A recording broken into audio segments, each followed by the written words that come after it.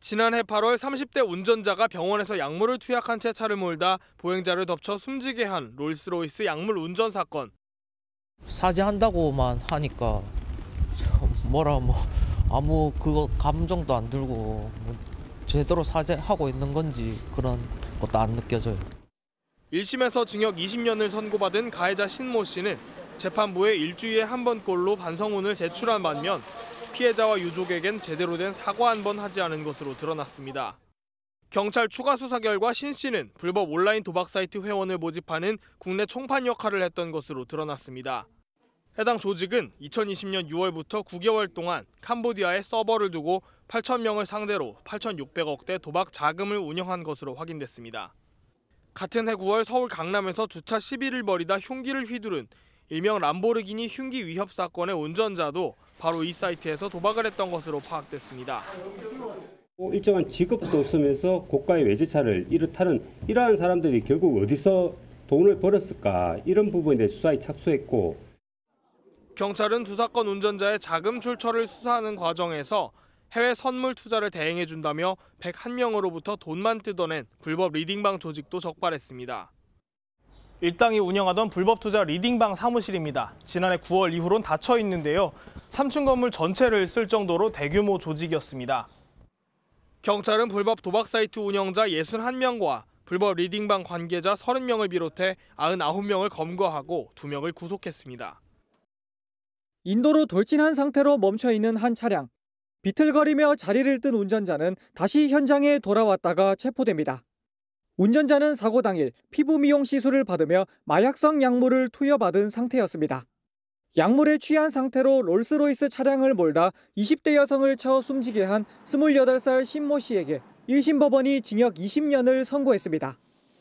신 씨는 구호 요청을 하려 이동한 거라며 도주한 게 아니라고 주장해 왔습니다.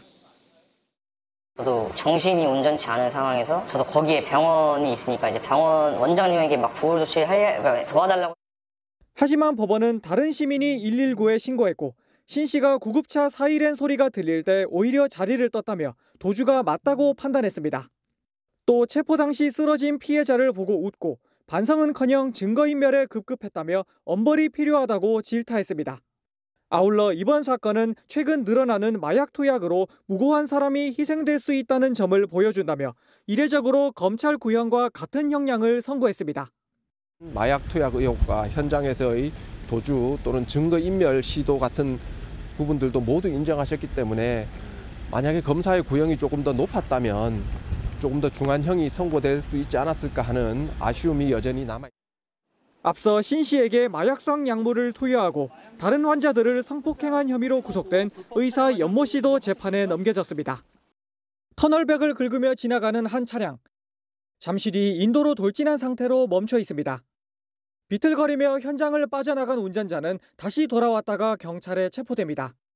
약에 취한 상태로 롤스로이스 차량을 몰다 20대 여성을 치어 숨지게 한 혐의로 기소된 27살 신모 씨에게 검찰이 징역 20년을 구형했습니다. 검사 측은 신 씨가 피해자 구호는 하지 않고 휴대전화만 만지다가 이탈해 약물 투여 관련 증거를 인멸하려 했다며 엄벌이 필요하다고 주장했습니다. 반면 신 씨는 신고하려 휴대전화를 찾은 거고 병원에 간 것도 도움을 요청하려는 거였다며 도주 의사가 없었다고 주장했습니다. 저도 정신이 온전치 않은 상황에서 저도 거기에 병원이 있으니까 이제 병원 원장님에게 막 구호 조치를 할 그러니까 도와달라고 위험 운전으로 사고를 낸 사실만 인정한다면서 신 씨는 최후 변론에서 고인과 유가족에게 죄송하다 평생 반성하겠다고 말했습니다. 재판을 지켜본 피해자 유족은 진정한 사죄가 아니라 받아들일 수 없다며 재판부가 구형보다 엄한 처벌을 내려달라고 호소했습니다. 사죄한다고만 하니까 뭐라 뭐 아무 그거 감정도 안 들고 뭐 제대로 사죄하고 있는 건지 그런 것도 안 느껴져요. 재판부는 다음 달 24일 신 씨에 대해 선고를 할 예정입니다. 지난 8월 압구정 롤스로이스 사건으로 뇌사 상태에 빠져 있던 피해자는 지난달 25일 사고 발생 약 넉 달 만에 숨졌습니다. 피해자가 가족들에게 하실 말씀 없으신가요? 네, 진심으로 사죄드리겠습니다. 죄송합니다. 피해자 사망 후 처음으로 재판에 출석한 신모 씨는 쑥색 수의 차림의 꼿꼿한 자세로 위축되기보단 당당한 모습이었습니다. 피고인석에 앉아 방청석을 살피는 여유도 보였는데 막상 재판이 시작된 후엔 고개를 숙이고 땅을 내려다봤습니다. 재판부는 피해자 사망에 따라 혐의를 특가법상 도주치사, 위험운전 치사로 바꾸는 검찰 요청을 받아들인다며 공소장 변경을 허가했습니다.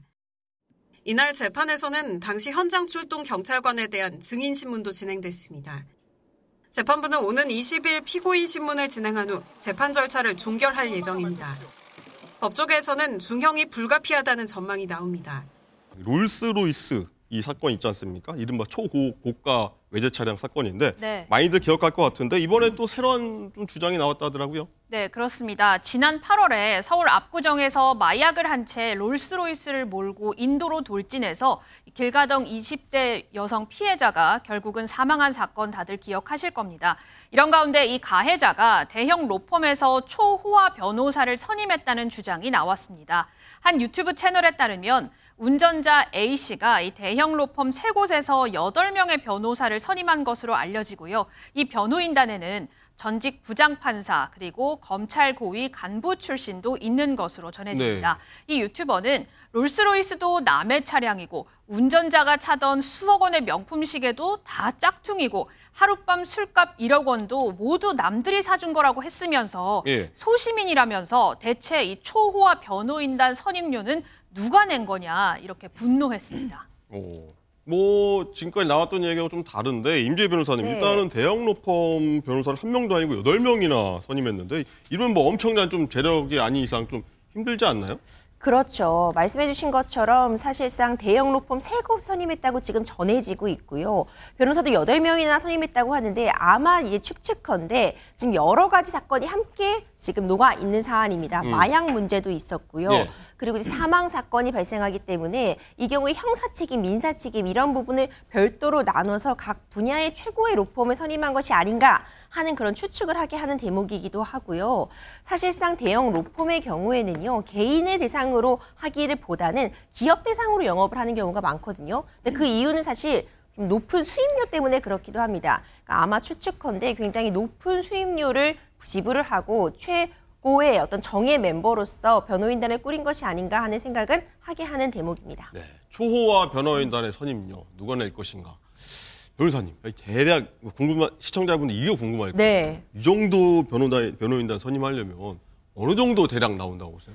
금액? 어, 사실 이게 정말 조심스러운 부분이 예. 있는데요. 이 변호사 수익료라는 것이 대략적인 가이드라인은 정해져 있지만 특히 대형 로펌으로 가게 되면은요. 한 명당 이제 타임 차지라는 것이 붙어서 예. 변호사는 이제 time charge가 계산이 아, 되잖아요. 시간당. 시간당. 예. 이 시간당 얼마나 내가 이 일을 처리하는데 노동력을 투입하냐에 따라서 계산을 하게 되고 그렇다 보면은 너무 많은 금액이 나올 수 있기 때문에 우리가 cap을 씌운다고 얘기하는데 네, 상한선을 상한선을. 정해두기도 하거든요. 사실 이 정도를 꾸린다면 시간이 얼마나 걸릴지도 예측하기가 어렵고 예. 최종적으로 어떤 판결을 받을 것을 약속하냐에 따라 달라지겠지만 그러니까 얼마입니까? 얼마인지 정확히 말씀드리기 업무상 비밀에 해당할 아, 것 같지만 예, 알겠습니다. 굉장히 많은 금액에 해당한다는 건 확실히 말씀드릴 수 있습니다. 굉장히 많은 금액. 네. 알겠습니다. 박상희 교수님 일단은 뭐 가해자가 뒤늦게 뭐 이 사과 의사 밝히고 반성문도 일단 제출했는데 일단은 이렇게 어마어마한 변호인단을 꾸렸다는 것은 네. 일반인들이 보기에는 아 진짜 이거 반성하는 거 맞아? 진정성이 네. 있어? 이렇게 받아들일 수밖에 없을 것 같거든요. 네, 저는 이 방법은 정말 옳지 않다고 생각해요. 왜냐하면 반성문이라는 건 정말 반성의 마음이 있으면 바로 이런 사건이 났을 때 정말 무릎을 꿇고라도 해야 되는 것이 반성이고 그렇죠. 그다음에 본인이 억울한 면이 있어서 내가 반성을 하거나 사과를 하지 않겠다라고 마음먹으면 끝까지 안 해야 하는 거죠. 음. 그런데 지금 뭐 법정에서 유리하기 위해서 반성문과 뭐 사과 편지를 쓰겠다라고 밝혔다는 것 같은데요. 지금 이 고인 피해자의 오빠가 뭐라고 얘기를 했냐면 지난 1일에 변호사를 통해서 사과 편지를 보내겠다라고 밝혔다는 거예요. 예. 그러나 거절했다. 사고 이후에 한 번도 사과한 적도 없는데 어. 이제 와서 형량을 위해서 뭐 반성문 내고 우리에게 편지 쓰는 것이 무슨 무슨 의미 어, 의미가 있느냐라고 얘기했는데 저도 그 말에 그 말씀에 정말로 동의를 합니다. 음.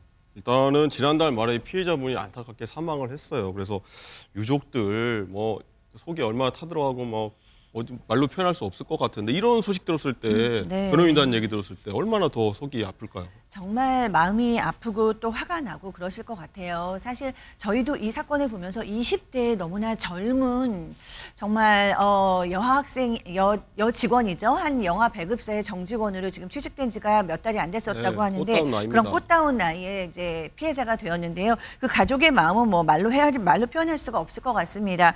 어, 아, 오빠가 지금 이제 이 채널에서 말씀을 하셨어요. 우리 아이 우리 동생이 너무나 일을 재밌어하고 모두가 좋다 그렇고 자기 명함도 나왔는데 너무 어. 마음이 아프다라고 얘기를 했고요. 이 원래는 이 피해자가 의사들이 얘기할 때는 3개월이 한계입니다라고 얘기를 아유, 했대요. 근데 25일 날 이제 천국으로 가셨는데 24일 에그 생일이셨다고 합니다. 음. 그러니까 한 달을 더 버텨준 거예요. 생일까지 버텨준 동생이 너무 고맙다라고 얘기했는데 들으면서 참 마음이 아픕니다. 마음이 아픕니다 정말로.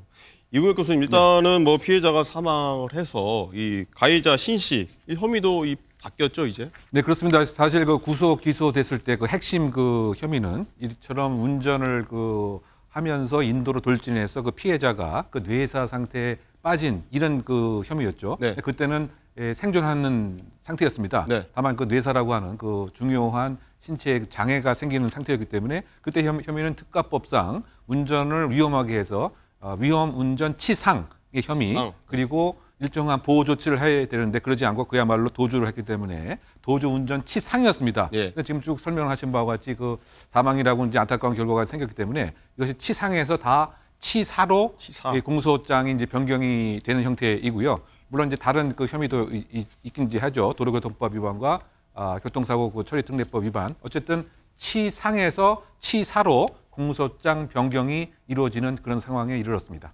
네, 정말 안타까운데 말 들을수록 이 가해자 신 씨가요 일단 사건 당시 피해자를 구호 조치했다. 뭐 이렇게 앞뒤가 맞지 않는 주장을 해서 좀 공분을 산 적이 있는데 그 가해자 목소리 한번 듣고 오겠습니다. 저도 거기서 기절을 했던 것 같고 일어나서 제가 내렸었을 때는 피해자분이 그 제 차 앞에 밑에 있었습니다. 구호 조치를 이제 바로 하고 저는 이제 기억이 잘 안 나는데 형사분께서도 말씀을 하시더라고요. CCTV. 저도 정신이 온전치 않은 상황에서 저도 거기에 병원이 있으니까 이제 병원 원장님에게 막 구호 조치를 할 그러니까 도와달라고 해야 되는 그때 당시에 너무 저도 경황이 너무 없고 처음 일어나는 일이다 보니까 그때 당시에 사고 현장에서 기억 어, 기억이 안 난다. 뭐 이렇게 가해자가 얘기를 했는데 예, 임재 변호사님 일단은 이 가해자 신 씨 혐의가요. 뭐 한두 개가 아닙니다. 이 피해자분이 뭐 사망했으니까 일단은 처벌 수위는 당연히 올라가겠죠. 네, 그렇습니다. 앞서 인터뷰 내용 보시면요. 기억이 안 난다고 표현을 한다거나 어떤 조치를 취했다, 구호 조치를 했다 이렇게 말하고 있는 거를 보실 수 있었는데요. 사실과 다른 부분도 분명히 있을 수 있고 뿐만 아니라 이런 발언들 사실상 어떤 양형에 있어서 참작받기 위한 요소가 아닌가 이런 의심을 지울 음. 수가 없는 그런 상황입니다. 앞서 교수님께서 말씀해 주신 것처럼 치상, 중상해를 입혔다는 최종적인 결과에서 지금 정말 안타깝게도 치사, 사망의 결과에 이르렀기 때문에 당연히 처벌 수위는 올라갈 수밖에 없고요. 대법원의 양형 기준에 따르면 이제 도주 운전 치상에서 도주 운전 치사로 바뀐 경우에 가중적인 요소를 더해지면 최소 두 배 정도 형이 가중될 수 있는 네. 상황입니다. 그렇기 때문에 뭐 2년에서 6년 정도가 보통 나오는 형이었다면 지금 적어도 5년에서 10년까지 형이 나올 수 있는 상황이고요. 이 외에 다른 어떤 죄목들도 치상보단 치사가 당연히 더 형량이 높기 때문에 처벌은 더욱 가중될 것으로 예측이 되고 있습니다. 아, 한자 재판 결과에 따라서는 최종적인 형은 재판까지 지켜볼 필요는 있을 것 같습니다. 지켜봐야겠죠. 예. 지난달 2일 저녁 서울 강남 압구정역 앞에서 20대 여성을 들이받은 운전자 신모 씨. 피해자가 가족들에게 하실 말씀 없으신가요? 네, 진심으로 사죄드리겠습니다. 죄송합니다. 신 씨의 사고 당일 모습이 추가로 공개됐습니다. 행인들이 롤스로이스 차량과 건물 벽면에 끼인 피해자를 구조하려 애쓰는 반면 신 씨는 별다른 행동을 취하지 않습니다. 얼마 지나지 않아 119 구조대도 도착하지만 신 씨는 이를 보고도 유유히 현장을 떠납니다. 3분 만에 돌아와 경찰에 붙잡힌 신 씨는 줄곧 자신이 치료받은 병원에 피해자 구조를 요청하기 위해 다녀왔다고 주장해왔습니다. 하지만 검찰은 약물 투약으로 인한 위험운전 치상 외에도 특정범죄 가중처벌법상 도주치상, 이른바 뺑소니 혐의를 적용해 신 씨를 재판에 넘겼습니다.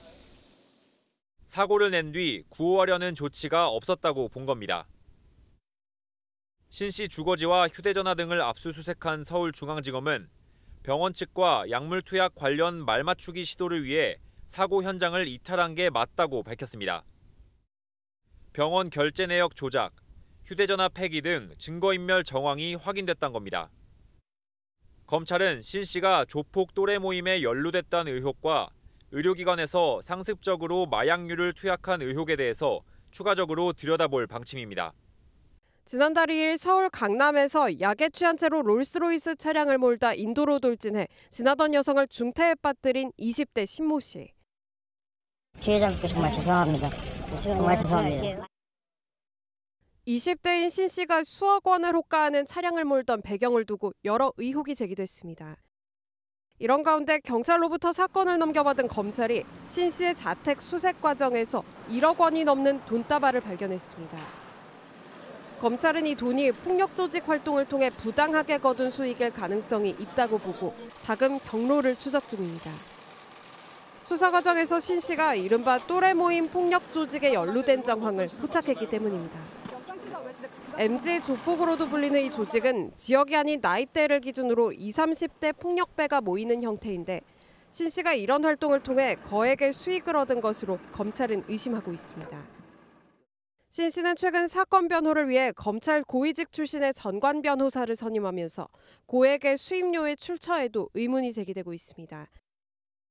지난 2일 9시간 넘는 치료를 받고 비틀거리며 운전대를 잡아 끔찍한 충돌 사고를 낸 신 씨. 사고 직후 20대 피해 여성에게 사과하지 않았다가 구속영장 심사에 출석해 사과했습니다. 피해자분께 정말 죄송합니다. 정말 죄송합니다. 하지만 영장 심사 전날 공개된 유튜브 인터뷰에선 자신을 둘러싼 혐의를 전면 부인했습니다. 병원 네 곳을 돌며 처방받은 7가지 향정 의약품은 치료 목적으로만 사용했던 겁니다. 지난 2017년 필로폰을 투약해 유죄 판결 난 것은 인정하면서도 최근엔 마약을 하지 않았다고 주장했습니다. 소변 검사를 거부할 수 있는데 할 거냐 말 거냐 이렇게 말씀을 하시더라고요. 그래서 하겠다고 저는 이제 마약을 하지 않았다고 이제 해당 사건을 파헤치는 유튜버를 협박했다는 의혹도 사실 무근이라고 강조했는데 서울경찰청은 해당 유튜버를 불러 신 씨의 협박 의혹도 들여다보고 있습니다. 또 다른 유튜버는 오늘 새벽 유튜브 방송을 통해 가해자를 언급하지 않는 대가로 신원 미상의 사람이 3억 원을 줬다고 폭로하기도 했습니다. 신 씨에 대한 구속영장 발부 여부는 오늘 밤 나올 전망입니다. 강남 한복판에서 고급 SUV 차량이요 20대 여성을 어, 지나가고 있는데 인도를 덮쳐서 그 여성을 덮치는 바람에 굉장히 큰 사고로 이어졌고 여성이 세상에. 많이 다쳤습니다. 영상으로 함께 보시겠습니다. 검은색 차량이 벽- 벽에 부딪힐 것처럼 비틀거리며 달립니다. 잠시 뒤에요. 길을 걷던 시민들이 일제히 저렇게 뒤를 돌아보고 한 남성이 비틀거리며 걸어 나오죠. 지난 2일 저녁 8시쯤에 28살인 이 남성이 몰던 SUV 차량이 서울 압구정역 근처 인도로 돌진해서 20대 여성을 그대로 들이받은 겁니다. 이 여성은 크게 다쳤습니다. 세상에. 한데 그런데 이 남성 사고 직후에 통화만 하다가 현장을 빠져나갔다고 하는데요. 4분 만에 비틀거리면서 돌아와 지금 저 인간이에요? 네, 맞습니다. 자, 너무너무 어처구니없는 일이잖아요. 당시 사고를 목격하신 분 얘기 좀 들어보시고 이어가 보도록 하겠습니다. 내리자마자 비틀거리면서 맨날 술 취하는 줄 알았어요. 괜찮아서 괜찮아 이렇게 하는 것도 전혀 없었고요. 자꾸 뭐 핸드폰 보고 뭐 이런 거 비틀거리면서 경찰관이 좀 애썼어요. 보면 막 저항하고 막 변호사 부르라고 내 몸에 손대지 마 이런 것들도 있거든요. 당시 영상만 봐도 그 여성이 정말로 크게 다쳤을 것 같은데요, 최정아 기자님. 네, 이 피해 여성은요 차량과 이 건물 외벽 사이에 끼어서 양 다리가 골절됐습니다. 어머, 세상에. 뿐만 아니라 머리까지 크게 다치는 바람에 중상을 입어서 이 아이고. 병원에서 수술을 받게 됐습니다. 어머 세상에 세상에 아니 근데 조금 전에 그 영상을 보면요 최진봉 교수님 네. 저 무지막지한 인간이 비틀비틀 걸었잖아요. 이거 뭐술 마신 거예요? 왜 그런 거예요? 그러니까 이게 지금 이제 조사가 필요한 거고요. 나중에 이제 밝혀질 텐데 이 사람이 지금 행동을 보면 너무 황당하고 저 비틀비틀 하잖아요, 네, 지금. 맞아요. 네. 그러니까 저게 일반적인 현상은 아니에요. 그렇죠, 절대로. 네. 그러니까 술을 먹었던 마약을 했던 둘 중에 하나인데 네. 이 사람이 4분 4분 만에 비틀면 돌아왔는데 돌아온 건 중요한 게 뭐냐면 사고 목격자들의 증언에 따르면 사람을 치었잖아요. 네. 그럼 내리자마자 어떻게 해야 돼? 구호 조치를 해야 될 거. 아니에요. 전혀 신경도 안 썼다는 거야. 휴대전화만 보면서 저렇게 걸어만 갔다는 거예요. 그러니까 경찰에 신고를 하니까 경찰이 오니 그 사람을 또 피했어요. 그래서 경찰이 오니까 그 장소에서 도망을 갔다가 경찰들이 옆에 이제 주변을 수색해서 결국 잡았거든요. 네. 잡고 났더니 또 반항을 합니다. 어허. 가해자 주제에. 어, 지금 저렇게 하네요, 진짜. 네. 경찰들한테 반항하고 뭐라고 얘기하냐면 변호사 불러 내 몸에 손대지 마. 어디 건방지게 더 황당한 말이 있습니다. 그 여자 죽지 않았잖아. 뭐라고요? 인간이에요? 그러니까 사람도 아니에요. 저런 사람을 저 경찰이 지금 붙잡아서 조사를 하고 있는데 말도 안 되는 행동을 하고도 전혀 반성하지 않는 천하의 못쓸 인간입니다. 관련 얘기 좀 들어보시고 이어가 보도록 하겠습니다. 수치 통해서 일단 얘기는 잠시 들었는데 수술이 어느 정도 끝나고 나야 이제 정확하게 얘기를 해- 해주실 수 있다고 지금은 어떻게 될지 알 수가 없다고 그 부분이 제일 심하고 다리를 못 쓸 수도 있고 이게 무슨 날벼락입니까? 피해자와 그 피해자 가족분들한테 이게 무슨 날벼락이에요? 지금 피해 여성은요. 만약에 최악의 경우 수술을 해도 다리를 아, 못 쓰게 될 수도 있다는 거예요. 정말 저 극악무도 저 몹쓸 인간의 행동 때문에 그런데 자 양성 야, 이 마약 양성 반응이 나왔어요. 박성배 변호사님 그러면 당연히 저 인간 지금 유치장에 지금 갇혀 있겠죠. 통상적인 경우라면 현행범 체포된 이후에 48시간 이내에 구속영장을 청구해 구속영장을 발부받아야 마땅합니다. 그렇지만 이 남성은 현재 석방된 상태입니다. 네? 경찰 조사 시에 남성이 지난달 말에 수술을 받았고 의사에게 케타민을 처방받았다면서 관련 내용이 담긴 병원에 소명서를 제출했습니다. 그러자 경찰이 구속영장을 청구하지 않았고 이에 따라 이 남성은 체포 17시간 만인 지난 3일 오후 3시경 석방됐습니다. 아니 이런 미치고 팔짝 뛸 일이 있어요? 아니 경찰 출신이신 박성배 변호사님 이 사람만 아니 처방전을 증거로 보여줬다 하더라도 지금 사람의 목숨이 경각에 달릴 이 중대한 사고를 낸 인간을 그냥 풀어줘요? 경찰 설명에 따르면 과실범이고 도주 우려가 없었고 변호사가 신원 보증을 하고 책임지겠다고 해 석방했다. 구속할 만한 사유는 없었고 국과수의 정밀 감정 결과를 지켜보고 있다고 설명했습니다. 이 사건에서 경찰은 이 사고를 현재까지는 단순 교통사고로 보고 있는 것 같습니다. 단순 교통사고로 보고 있는 상황이라 교특법 위반, 물론 보도 침범 사고로 형사처벌은 불가피합니다. 교통법 위반 적용을 검토하고 있는 것으로 보이는데 만약 약물을 실제로 복용했고 그 영향으로 사람을 친 사고를 낸 게 사실이라면 위험 운전 치사상의 약물 운전으로 그 형이 상당히 중에 당장 수사 단계에서 구속되게 됩니다. 실제로 이 사건은 국가수 감정 결과를 지켜봐야 하는데 조사 대상을 넓혀야 할 것 같습니다. 당사자의 진술에 따라서 케타민만 검출될 것인지 여부를 확인할 것이 아니라 처방한 약물 이외에도 여타 약물들을 혹여나 복용한 전력이 있는지 약물의 조사 대상 범위를 지금이라도 더 늘려서 실제로 임의로 약물을 복용했고 이에 따라 교통사고를 일으켰는지 여부를 면밀하게 조사할 필요성이 있습니다. 검은색 SUV 차량이 벽에 부딪힐 것처럼 비틀거리며 달립니다. 잠시 뒤 길을 걷던 시민들이 일제히 뒤를 돌아보고 한 남성이 비틀거리며 걸어 나옵니다. 어제 저녁 8시 11분쯤 28살 남성 A씨가 몰던 SUV 차량이 서울 압구정역 근처 인도로 돌진해 20대 여성을 들이받은 겁니다. 나랑 탔는데 박으면서 그대로 여기까지 날라왔나 봐요. 여자가. 근데 그대로 오면서 또 박았나 봐요. 여자분은 거의 의식이 없는 그런 상태. 피해 여성은 차량과 건물 외벽 사이에 끼어 있었습니다. 가위로 끼어 있는 머리카락을 잘라내고서야 간신히 구조될 수 있었습니다. 여성은 머리와 다리를 크게 다쳐 수술을 받았습니다. 사고 직후 현장을 빠져나갔던 A씨는 4분 만에 비틀거리며 돌아와 검거됐습니다. 경찰은 A씨가 사고 직후 횡설수설했다는 목격자 증언에 따라 마약 간이시약 검사를 진행했고 이른바 클럽 마약인 케타민이 검출됐습니다. A씨는 경찰 조사에서 수술을 받고 처방받은 약이라고 진술한 것으로 알려졌습니다. 경찰은 A씨를 현행범 체포하고 마약 투약 여부 등 정확한 사고 경위를 조사하고 있습니다.